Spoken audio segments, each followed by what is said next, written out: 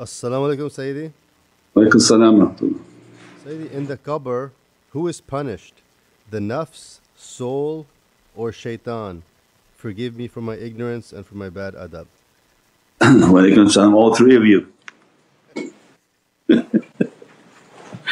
Yeah.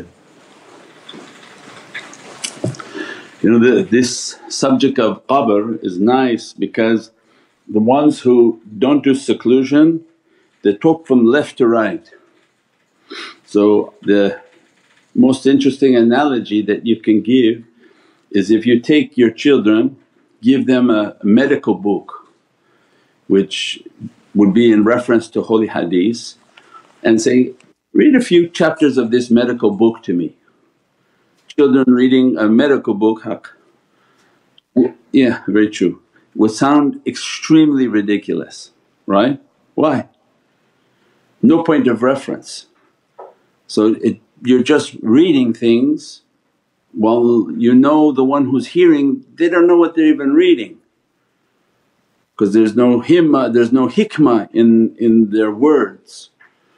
And this is a nation that used to all do khalwa because it was a part of Islamic tarbiyah and akhlaq that you had to do 40 days. The concept of the 40 days is the 40 days of the grave. So the shaykhs in their training they have to do their khalwa.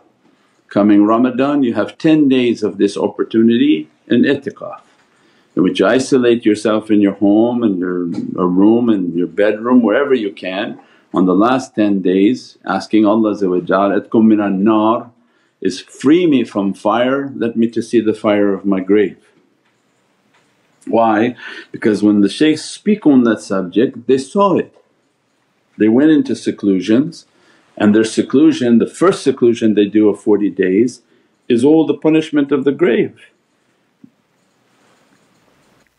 So we have articles, easiest way to search our, our teachings is to go to nurmuhammad.com, muhammadanway.com, all of them forward.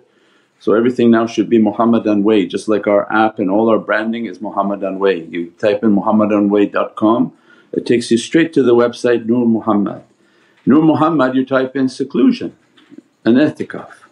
Two or three articles, each article has a link to the actual YouTube and then very detailed articles with uh, reference to Qur'an and Hadith. Assalamu alaikum wa rahmatullahi wa barakatuh. This is Shaykh Nurjan. Thank you for watching the video that you're watching.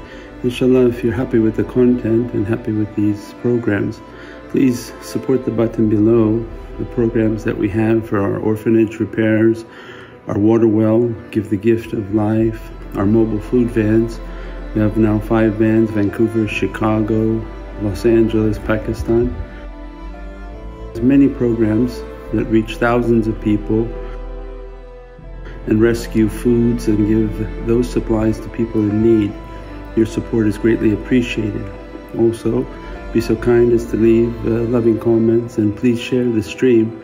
Every bit counts. Assalamu alaikum wa rahmatullahi wa barakatuh. Because I don't make reference to the full ayatul Qur'an and, and the full hadith with all its footnotes but the editors afterwards put the whole article together like a document for jurisprudence and marifa all in, in one. So that's all the teaching there.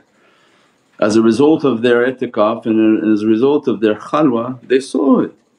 They entered in, they start to meditate over the days as their wazifas become stronger and zikr becomes stronger.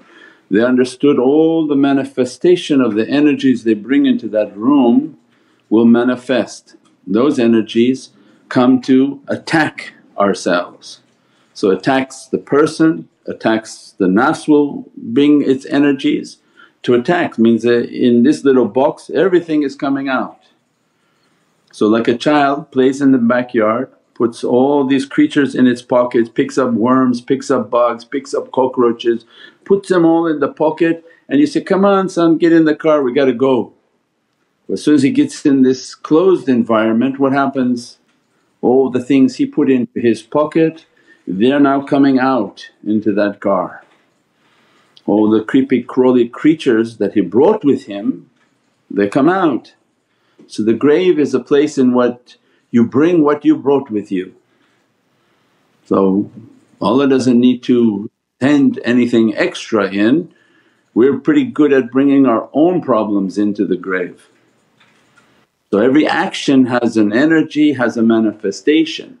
If all your life you were viciously mean then you should know that there's vicious animals that will meet you into the grave manifesting your character as that creature. If you were like a rat and you acted like a rat your grave will be just filled with rats.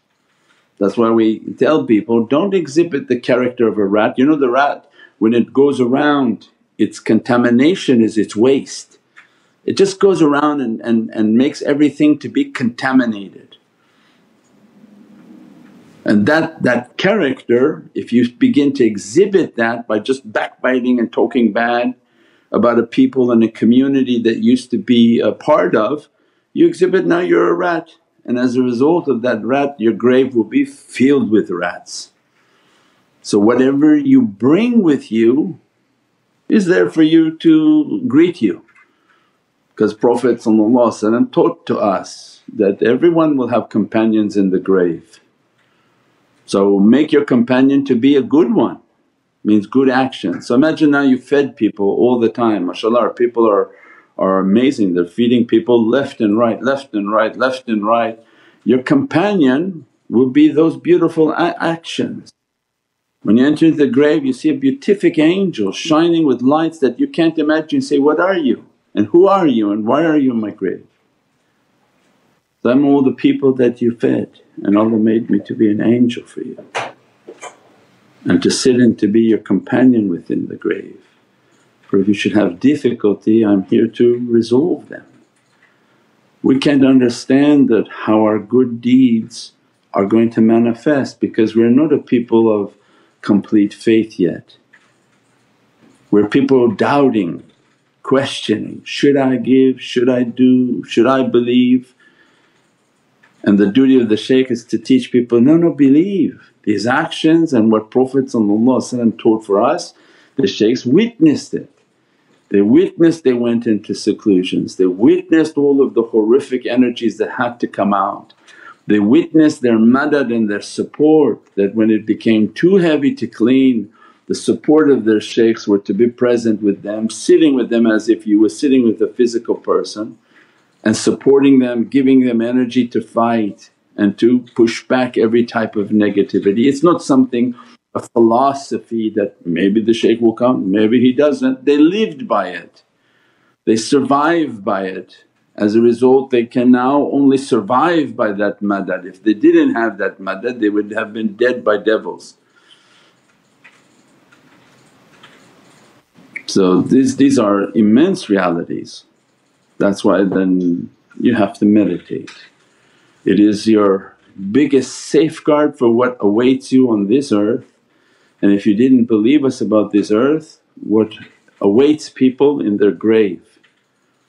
So it's the skill, the very life skill that is essential in our survival upon this earth to call upon those whom are holier than ourselves, they're more powerful than ourselves, more knowledgeable than ourselves because it's a sign of humility and Allah loves the humble not the arrogant. As a result of training to always feel that I need the madad and support, it's an immense help within the grave. Because those whom understand that support they begin to ask, Ya Rabbi open my grave from now and begin to train on how to seclude yourself on a daily basis. As a result they're continuously in khalwa, continuously in their connection fighting every type of difficulty only by means of support and they know their weakness, they know their inability and they know how much they rely entirely upon Sayyidina Muhammad's love. For if they have that love they have the support of Allah because you can't say, oh they, they know how much they have from Allah they have nothing from Allah if not the hand of Sayyidina Muhammad with them. So all of that brings then the, the might and majesty of Allah as their support. So we live by that, have to live by that and then to teach that. So that's important is that learn the tafakkur, learn the contemplation, get the timeless reality, study it, read it, ask your questions from that so that it so that it understood that you're reading the text, learning it and understanding it and becomes immense safeguard against every difficulty, every shortcoming. Anyone saying their rizq is not coming then you shouldn't be, you should be meditating and making your salawats and making your connection. You have difficulties, things are not opening, you, you this is a problem, make your connection. You say, no Shaykh I'm making my connection, well then you're not changing your character, something in your connection is not right. Why? Because you know when you make connection your character becomes good. Have you, do you think there's a person who can make a connection and their character is bad? No, by night time you're going to get a beating with that connection. Ittaqullah. You know what taqwa is? It's not the people who say they have taqwa and they're blind as a bat, they're behind seven feet of steel. They're doing every bad thing they want, it doesn't matter for them. The person who has taqwa is the one whom sees with his heart because that connection is so precious if they do anything to endanger that connection they don't know how to live on this earth anymore after sustaining themselves by that connection. Means they these are the people of taqwa. So imagine the student that can achieve that and open that door in which they feel the presence of the shaykh, they feel the tajalli of the shaykh, they feel the flow of knowledges and madad flowing to them and they go out and do kooky crazy things. By the next day it would be cut and they wouldn't know how to even survive. So those whom think they have a connection is different than the ones whom actually feel the fires. They live and they, they, they emanate from the vibration of that fires and as a result the proofs are their ulum and the knowledges that flowing not from their heart and their tongue that their heart is owned by somebody else and their tongue is under someone else's command. As a result of that they don't do those things. So anyone saying, no Shaykh I meditate, I have these problems, no you're not meditating and that's why you have those problems. And if you truly made your connection you wouldn't talk bad, you wouldn't be angry, you wouldn't be hurting, you wouldn't be bothering people. And as a result everything else in your life would have been under Allah's rida and satisfaction. So everything is all connected. It used to be like these lights, these garden lights, they had all these like light bulbs on one wire and you plug it in you say, ah man the whole thing is not, not going on, what's going on? One of the bulbs if it's bad it destroys the whole current in the wire, none of the lights will go on. And you have to go through each bulb testing which one is the bad bulb, bad light, bad connection. Well we're, we're much more complicated than that. Means if we want the system to work everything has to be operational exactly like they're teaching. That you connect, you meditate, you live by that connection, strong connection with the shaykh. You feel the fayaz, you feel the guidance and you feel the, the fear of doing wrong because every night they're sitting with you in your accounting where you can't lie to them, you can't cheat them that they're sitting there and they're counting with you that do this correctly, don't do like that, do like this, don't do like that. As a result of that sincerity that opens within them, the fayaz of the shaykh is now dressing them. That's what we describe when they make Muhammadun Rasulullah every salawat that is entering into them is the light of Prophet entering and staying upon them. They don't want to lose that. So means it's all connected. This is a medical office with very specific testing and, and, and they can make their diagnosis on very scientific spiritual realities. What you say reveals a great deal about you. So the questions and answers is good so that to get an understanding of where people are at and where they should be at. They should be focusing wholly on connecting, connecting, connecting, connecting, few minutes every day until they feel the connection, feel their heart connected, feel the energies that are flowing. As a result of that connection to grow stronger and sincere they should be making an accounting now. That will correct their bad character because you lose the connection in no time if you start having bad character because they don't stand with you while you're acting uh, all over the place. So everything has its, its, its way. We pray that Allah opens its realities inshaAllah and that people follow the way and they don't mix and match and take from different things inshaAllah. Otherwise it take a long time for anything to be achieved inshaAllah.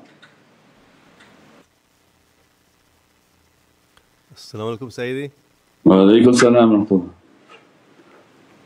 Sayyidi, what does it mean to be under the intercession of multiple holy souls?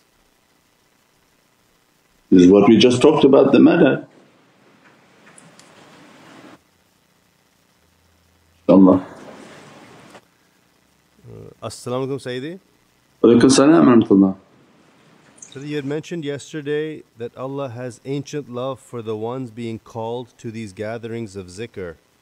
How about the ones not in these gatherings? Did Allah favor some people over others or just left them to earn this honor with their efforts?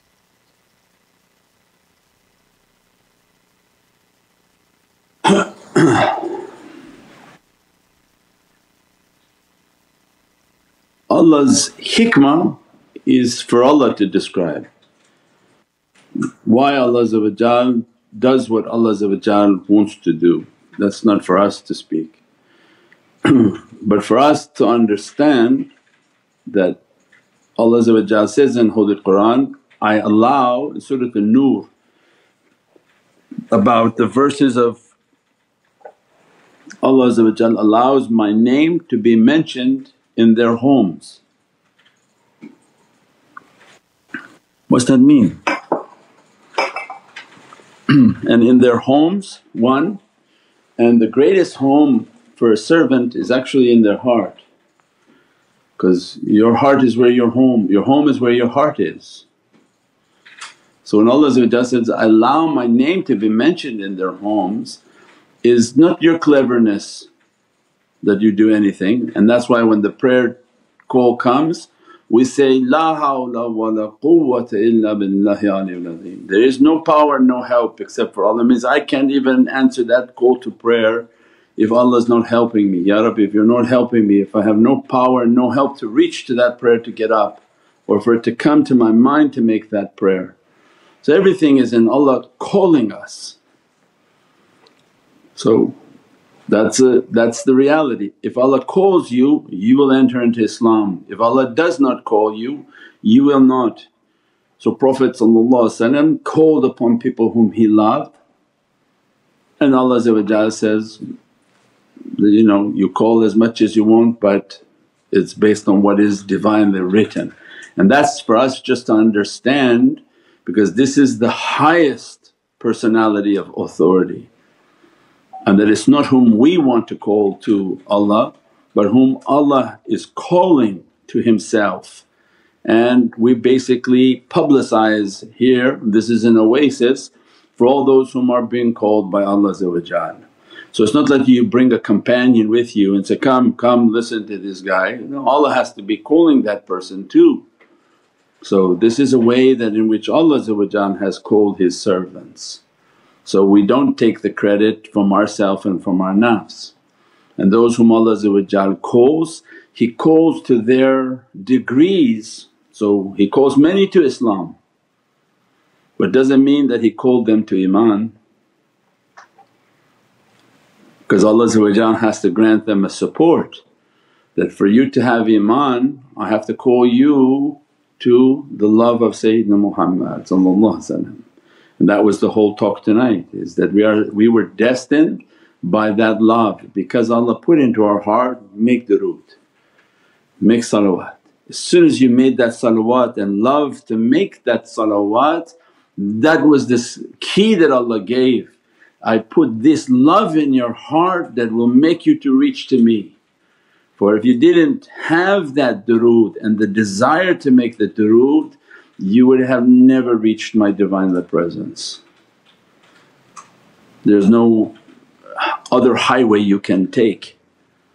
So these are all the gifts of Allah To be under the guidance of awliya is huge gift of Allah We describe so many beatific things. We were travelling with Mawlana Shaykh Sultan al Awliya and going and they were walking through these streets and this out of all the people on this street two Pakistani boys came running, young men in Europe.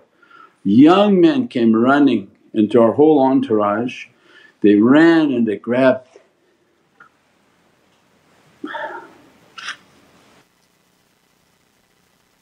know, they, they grabbed Mawlana Shaykh's hands and they kissed it so much. And Mawlana Shaykh was so happy to see them that uh, whoever taught you, taught you good.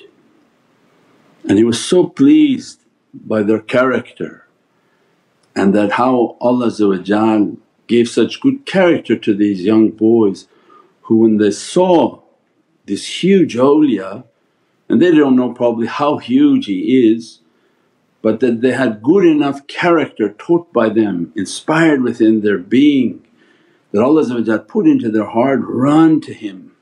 You don't know who that man is walking on the street amongst people and they ran. They heard the call to Allah they ran and they kissed his hand and that whole day they were so happy, Mawlana was so happy because this was a destined souls to come under his tarbiyah and under his holy nazar. But there were thousands on the street and they didn't. So whom Allah gave that gift, He truly gave a gift.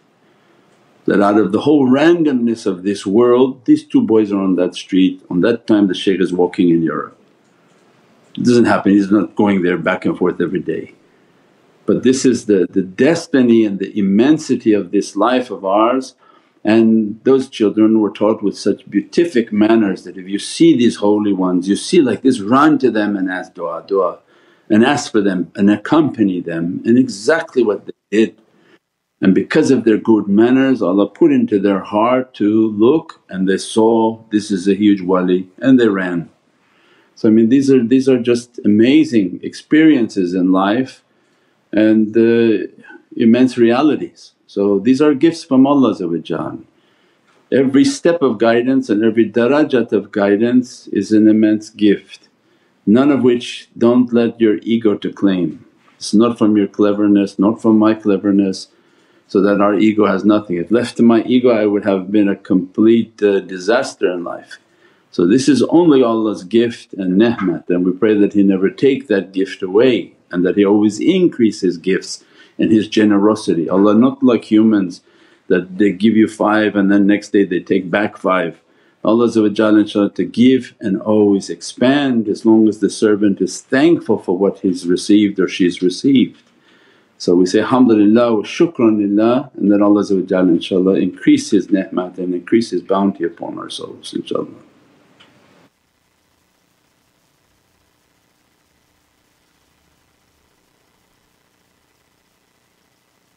Uh, As-salamu alaykum Sayyidi. Alaykum salam. Sayyidi, how does the reality of the different naat, sharifs and qawwali we recite during milad compare to the reality of salawat and durood bringing Muhammadan light into being? Each one is an immense light, each one is our immense secrets. So reciting as many as you can, reciting the naat, reciting all of these duroods, they are all immense secrets. Each has different flavors, different realities, different openings, different oceans of forgiveness, the, uh, as many as the drops of rain are the durood sharif from beginning of time to the end of time, as many as the drops in the oceans. Each durood sharif has its own tajalli and its own reality. So making them as much as possible, making the durood sharif as much as possible, reciting the different naat as much as possible. These are what fragrance the soul and sweeten the soul with the beatific fragrance, what make it above the angelic realm. So this is uh, immense oceans and, and realities and opportunities inshaAllah. As-salamu alaykum Sayyidi. Walaykum salam rahmatullah. Uh, how do we practically eliminate fear, this wretched rope of Satan? Stepping out now, knowing about frequencies, has led to being fearful when stepping out. No, it shouldn't be fearful. This is a knowledge is for strength, definitely not fear. Fear is a lack of faith. So you have to make the connection, again that's the whole thing, make your connection and, and do your practices because this is about faith and empowerment. You know, ignorance is not uh, to not know something is, uh, is not safe. Although they say ignorance is bliss, not on this subject because people say, well I didn't know I couldn't go there and they're getting contaminated, they're getting hurt, they're getting all sorts of difficulties as a result of not knowing about energy. Once they start studying about the energy then they're also taught and get the energy book on how to build your energy, how to make your meditation, get the meditation book, make your connection. So these are two books that are required based on that connection, that question. You have to know how to connect, you have to know what and how to build your energy. If you build your energy and connect, you go out knowing where you're going and the force that you have upon you, the light you have upon you, what is there to fear? And you know where not to go with that light, not to do bad things and not to go bad places. So there's nothing to fear, as a matter of fact you should be empowered with the knowledge because knowledge is power. But if you're hearing it and say, oh, I haven't read the book, I don't know how to meditate, I don't know anything about this energy stuff, you should be fearful. But you, you should also have been a student of the way to, I'm going to learn how to do the meditation, I want to understand these realities of energy. And it's very real. And how do I get my vibration up? And how do I defend myself against all of this uh, craziness? inshaAllah.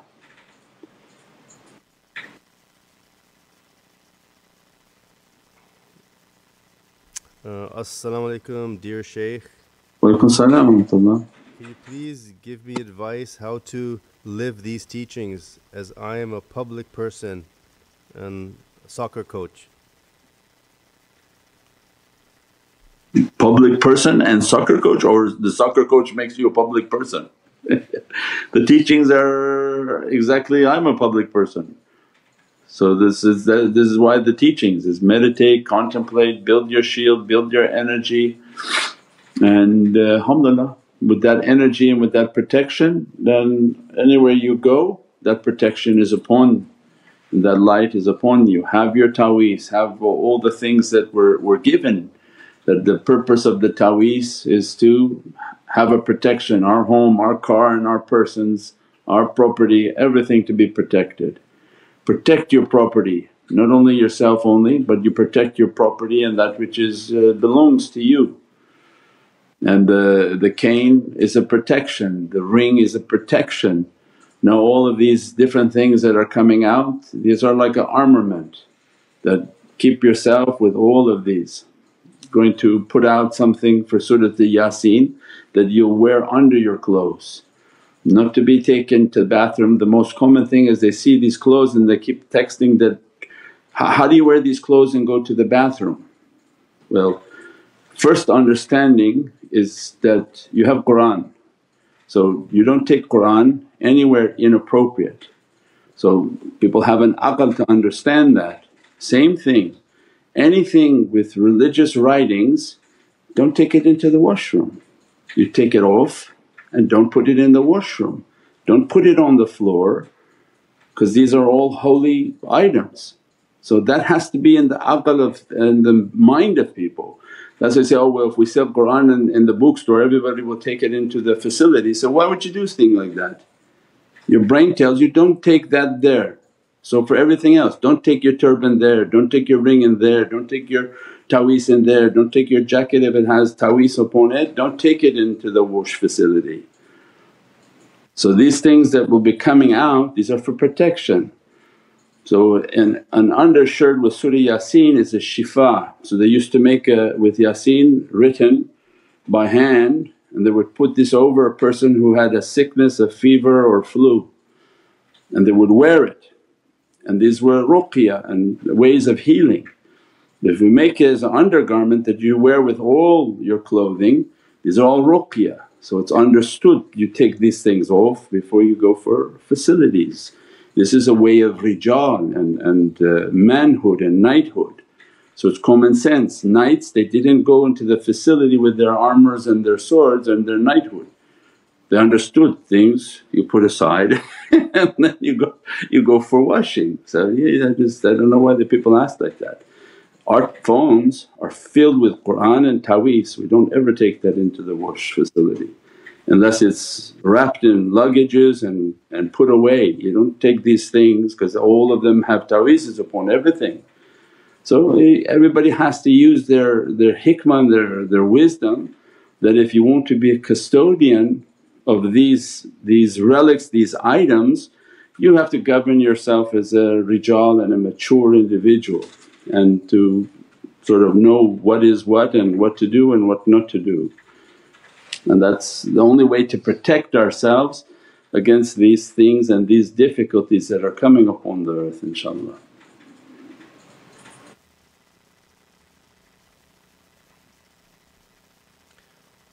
Oh, As-salamu alaykum Sayyidi. Walaykum salam Sayyidi, how to be more grateful? Make zikr alhamdulillah wa shukran lillah and, and show your gratefulness, right? Because everything is based on showing it. So why Allah make the first thing you do to come into Islam is what? Give shahada. You have to say in front of everybody, Ashhadu an la ilaha illallah wa ashhadu anna Muhammadan Rasulullah Why? Allah knows if He gave you the shahada in your heart to say or not but He wants you to know that say it and remind yourself. So means that we have to say and remind ourselves of the, our character. You want to be grateful, show your gratefulness and give a gift, give a sadaqah, give mawlid. If you're grateful for something, what would you do? If you were grateful for somebody saving your child's life, what would you do for that person? Probably a lot. If you're grateful that you, you were saved from a legal battle that would have destroyed your entire life, what would you do? You would show gratefulness. Why when it comes to religion people don't uh, they, ha- they have a question on how to show they're grateful. If you're grateful for the food you have, go out and give people food. If you're grateful for the money you have, give a portion of that to charity. That's how we show gratefulness is by an action. If you're grateful for the love of Prophet go out and spread the, the love of Prophet the big mawlids, the big events, take articles, share them. When you share an article on the love of Sayyidina Muhammad isn't that showing gratefulness? Because you're telling everybody else how much I love Prophet and I want to share this with everybody.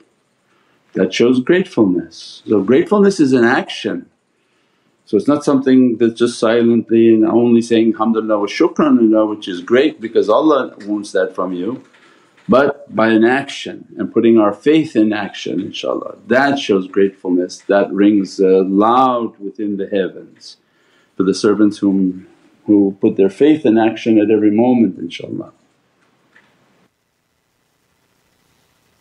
Mm, As-salamu alaykum Shaykh. Wa alaykum salam What does it mean if you keep seeing the numbers 666 everywhere? I heard it means mark of the beast. Yeah, that means you're watching too many scary movies or, or our scary videos because we have it on our scary videos. So yeah, that has to do with their, their system their system of Dajjal that's coming out and their mark of the beast and we have a whole subject on that on Nur Muhammad. So the reality of the heart is six sixes, right? Because the six sixes is 36, is common, is a complete heart because it has three sixes up, three sixes down. Because three sixes is 18, 18 is the, is the reality of Hayy. Ha, ya.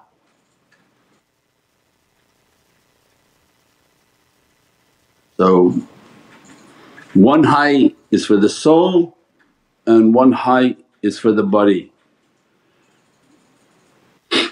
So complete are the ones whom open the oceans of hayy and the oceans of eternity upon their soul and that they open the ocean of eternity on their physicality. Because once you open the reality of your soul you're an eternal servant on your physicality.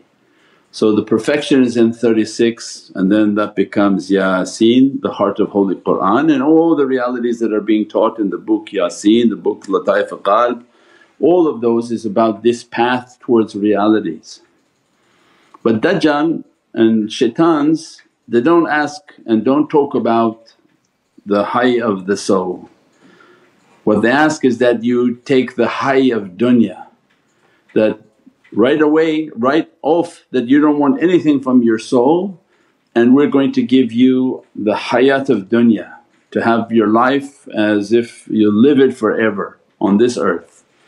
And that's why then they give them money and every sort of material dunya issue in life.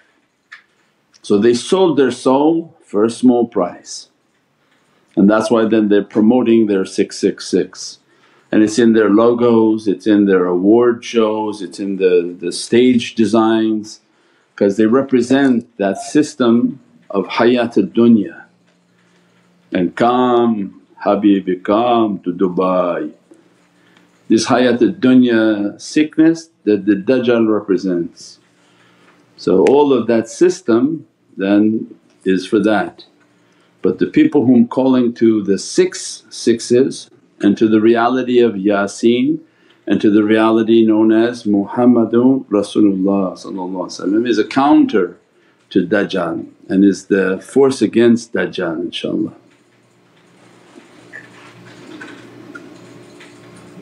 As-salamu alaykum uh, Sayyidi. Sayyidi Sayyidi as uh, Ramadan is approaching can you please guide us on how to manage our time better between dunya and our isolation? Please forgive me for my lack of understanding and bad adab.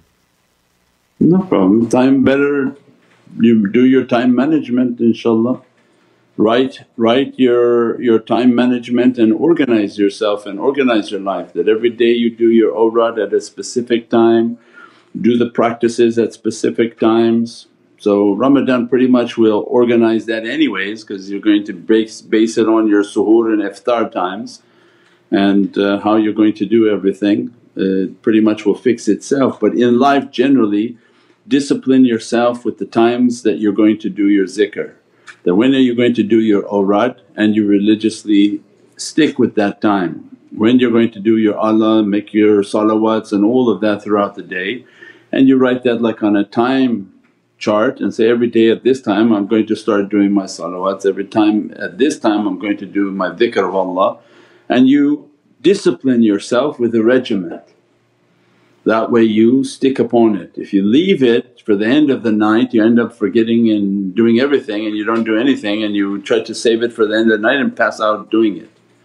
So everything in life is a discipline and Islam is the most important part to have a discipline. Just like how Allah has us praying at specific times, gives us a little bit of leeway in between the times but important because of the energies of those times to be praying and to be worshipping Allah At the same time you make a cycle on a chart that during these days and this time I'm going to make salawat, durood, I'm going to make my awrad, I'm going to read my Dalail al and then you keep to that schedule like a time chart organizer and you know every day that's your thing and you can even have your phone remind you, it's my Dalail Khairat time and it reminds you to read. This is my salawat time and reminds you to read inshaAllah. But requires a discipline and that uh, people try to put a discipline into their spiritual and religious practices so that to be successful. And that you do in business and work and everything else. The one who are most successful are the ones whom have a strong discipline. They, they do everything they're supposed to and they have the discipline to carry it out and the sense of responsibility that they have to carry it out. So imagine if they ran things and they had no responsibility, they wouldn't pay the bills, they wouldn't pay electricity, they wouldn't pay uh, all the things that have to be done and everything would collapse. So that's irresponsible person. So responsible people have everything organized and everything they take care and they can't sleep without it being done. So that is the same requirement that's needed in Islam inshaAllah and to be successful in the tariqah inshaAllah. Subhana rabbika rabbil izzati amma yasifoon wa salaamun al mursaleen walhamdulillahi rabbil alameen. Bi hurmati Muhammad al Mustafa basir Surat al Fatiha. As Salaamu Alaikum wa rahmatullahi wa barakatuh. This is Shaykh Nurjan. Thank you for watching the video that you're watching. Inshallah if you're happy with the content and happy with these programs please support the button below the programs that we have for our orphanage repairs, our water well, Give the Gift of Life, our mobile food vans. We have now five vans Vancouver, Chicago, Los Angeles, Pakistan. There's many programs that reach thousands of people and rescue foods and give those supplies to people in need. Your support is greatly appreciated. Also, be so kind as to leave uh, loving comments and please share the stream. Every bit counts. Assalamu alaikum wa rahmatullahi wa barakatuh.